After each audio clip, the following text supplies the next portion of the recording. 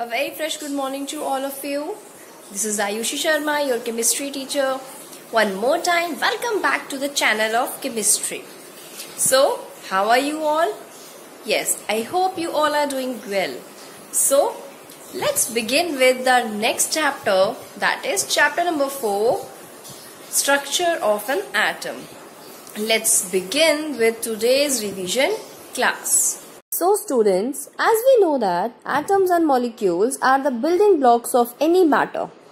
The existence of different type of matter which are present around us is only due to the different types of atoms and molecules present in them. We know that for longer period of time it was thought that the atoms are indivisible particles so they do not have an inner structure. But now in today's world. We know that atoms are divisible as well as they do have their inner structure. Atoms are having smaller particles in them which are known as subatomic particles. Atoms are made up of three subatomic particles electrons, protons and neutrons. Electron has negative charge, proton has positive charge whereas neutron has no charge, it's a neutral one. We also know that protons and neutrons are present in the center of the atom which is called nucleus. And electrons are outside the nucleus and revolve rapidly around it in a fixed circular path called energy levels or shells which will be studied under this chapter later on. Before revising today's topic, let's discuss some examples. Like if we rub a comb in our dry hairs and then we try to attract the small pieces of paper by using the comb. What will happen?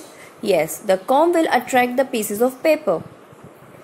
In fact, if we rub a glass rod with a piece of silk cloth and if we bring it near an inflated balloon, so it start attracting the balloon as well.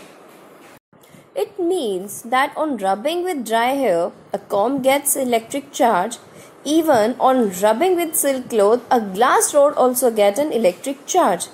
But again the question arises in our mind that where does this electric charge comes from?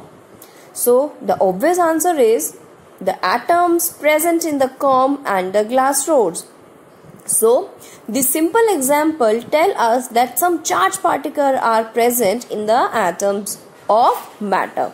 So we can say that atoms are divisible particles. So in today's revision video, we will describe how these charged particles were discovered. So today we are going to discuss the discovery of the first charged particle that is electron. Yes, the electrons were discovered in 1897 by the scientist J.J. Thomson. In this, the J.J. Thomson has used the discharge tube in which he has put the gas at lower pressure. Let's understand the process in detail by using the diagram. In this arrangement, J.J. Thomson took gas at very low pressure inside the discharge tube and vacuum pump is placed to maintain the pressure inside the discharge tube. On both the side of the discharge tube, two metal plates are used which will act as electrodes the metal plate which is connected with the negative terminal of the generator act as a cathode and the metal plate which is connected with the positive terminal of the generator will act as a anode.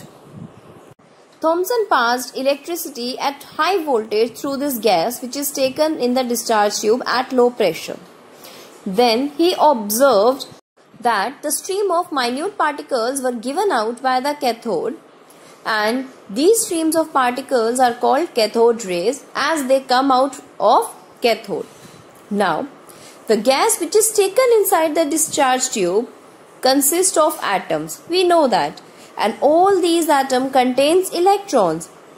When high electrical voltage is applied, the electrical energy pushed out the electrons from the atoms of the gas. These fast moving electrons form cathode rays. Thus we can say that formation of cathode rays shows that one of the subatomic particle present in all the atom which carry negative charge known as electron. Later on in this experiment, to know the nature of these electrons, to know the charge which is present on the particle present in these cathode rays, Thomson placed two metal plates. One is of positive potential, other is of negative potential nearby the cathode rays. When he brought positive plate near the cathode rays, it was observed that cathode rays were deflected toward positive plate and moved away from the negative plate which shows that the cathode rays carries a charge particle having negative charge. So on the basis of this discharge tube experiment, we can define an electron as the negatively charged particle which is found in the atoms of all the elements. Let's understand the concept of discovery of electron in more detail. Cathode rays are produced in a discharge tube. A vacuum pump is used to evacuate the discharge tube. The cathode of the tube is connected to the negative terminal of the battery, and the anode of the tube is connected to the positive terminal of the battery. It was observed that, at normal pressure, the gas did not allow the current to pass through it.